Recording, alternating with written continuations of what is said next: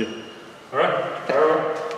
Ray, you're a Midwest guy playing uh, playing Notre Dame in Indiana. What uh, what does Notre Dame kind of mean to you? Big game, all that good stuff. I'm sure you grew up Yeah. potentially watching them. I mean, I grew up watching them all the time, Big Ten country, stuff like that. I mean, obviously they're not in the Big Ten, but it's a local school. I knew a bunch of kids when I was coming out that ended up getting scholarships in Notre Dame. I played against some kids that went to Notre Dame and things like that. And I mean, it's a historic program. They got movies, Rudy, stuff like that. Who didn't watch that? So, yeah, I'm a, I'm a big fan. I mean, always was. So, it's super exciting to get to play them for the third year in a row. As I said, yeah. I mean, how cool is it? this? is Your third year playing. Yeah. it's gotta be kind of cool. ABC game. I mean, this is this is what you wish for growing up as a kid. So, it's a big game for me. Was last year your first time in the stadium? When you It was, yeah. That was the first time coming coming down the tunnel, stuff like that. I mean, it's a historic place. It was. Uh, I took a bunch of pictures and stuff like that. It was. It was a cool scene for me. Ray, is, is there a part of you that's like, I'm trying to think of the best way to phrase this, but just like forget Notre Dame, like, you know, because it, it's almost like there's a lot of hype because of the name brand, but at the end of the day, you know, it's, it's what happens out on the field and it's what you guys control, not necessarily what they do. Yeah, absolutely. It comes down to what we do. It's. I mean, it has what they do, what their game plan is, what their strengths are, and things like that. But it comes down to how we play, how we execute, and things like that. That's that's going to dictate if we win or lose this game. They kind of uh, revamped their offensive line. Was there anything you saw in that Cal game that kind of that kind of looked like they got their continuity back? Yeah, I mean, it's Notre Dame offensive line. They've produced multiple first round picks in the last five, ten years. I consider it like O line U. They've they've produced great O linemen. They every year. I, this is my third year playing them in a row. They're always a big physical group, and they play as one. And and their technique's great. They're some of the best, best technicians I've played. So it's gonna be a good game. It'll be a good challenge for us up front. And to that, Mack made a big deal out of the fact two years ago that they were more physical, both lines of scrimmage, and, mm-hmm. and it brought it up again yesterday talking to us, sort of saying that's where you guys need to eventually get to. How much progress do you think you guys have made on your side of the line of scrimmage and getting to that point?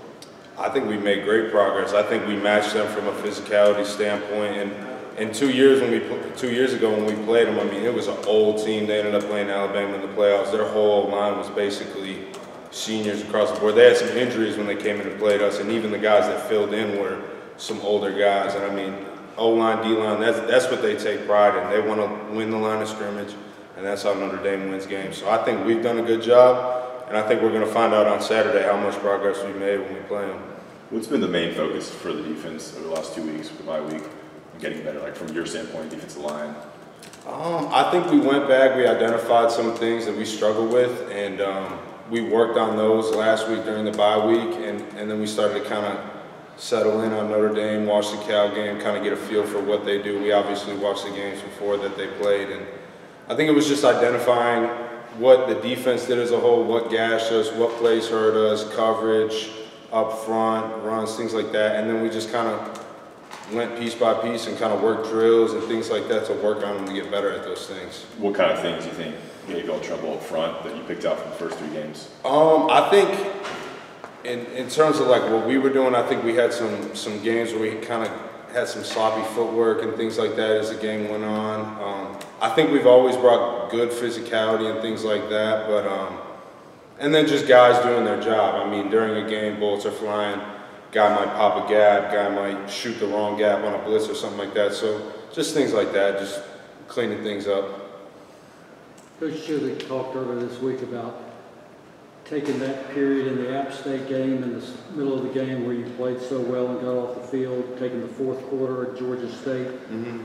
where you shut them down and, and build from that. Can you identify with that and, and take from, from those periods? Yeah, you got to take from the positive, but you also got to look at the negatives in those games and just kind of look at both things. And I think it shows that we have the capability to be that defense. It's hard to stop offenses with the rules and, and the advantages that they get. So we got to do what we can, play as hard as we can, do our jobs, and um, I think we have the talent to really be a great defense. We just got to keep getting better week by week.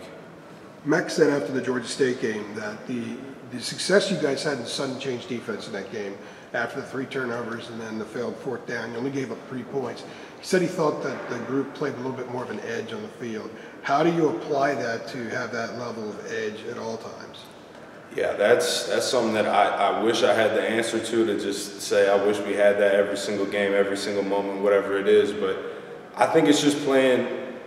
It's it's a it's a mentality. It's a state like you just got to mentally be kind of have an edge to you, have an edge for every game, no matter who it is, and just play the same way every single time. And, and however the cards shake, they shake. But I think it's just playing with a mindset of just being kind of being mean out there, having having an edge to yourself.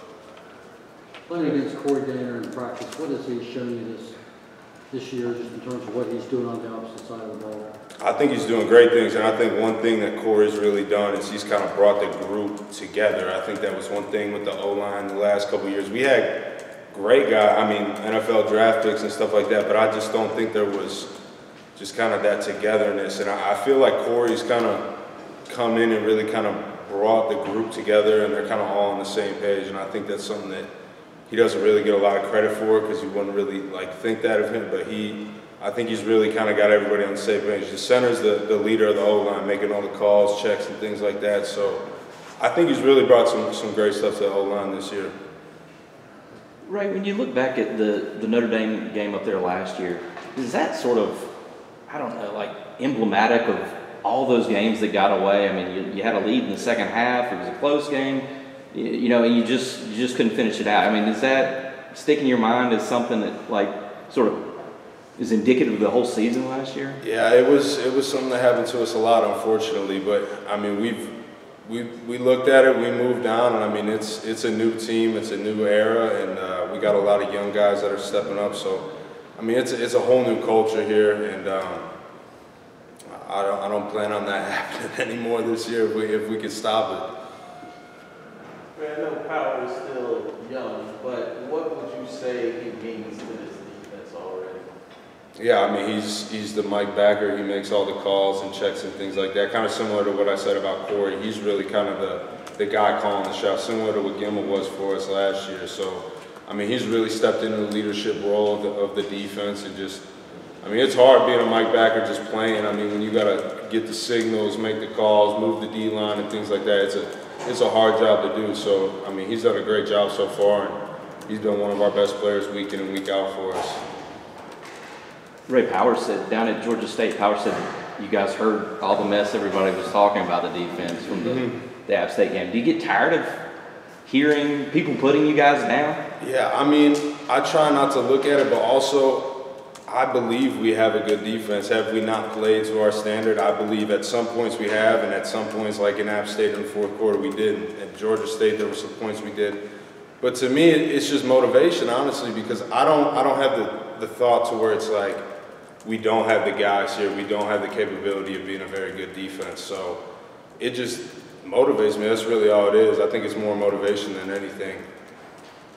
Could this be like a, a big step, stepping stone or statement win if, if you were to beat Notre Dame? Yeah, I mean, just getting the four and zero would be would be a huge accomplishment for us. Whether it's Notre Dame or anybody else. I mean, Notre Dame, their record isn't the team they are, nor is it the talent that they have. They've got very good players, and I mean, anybody could be beat. If you guys are following college football, it's it's crazy. So I think um, I think it's just gonna. We're just focused on being four and zero. If we can do that, it will be a big step for us.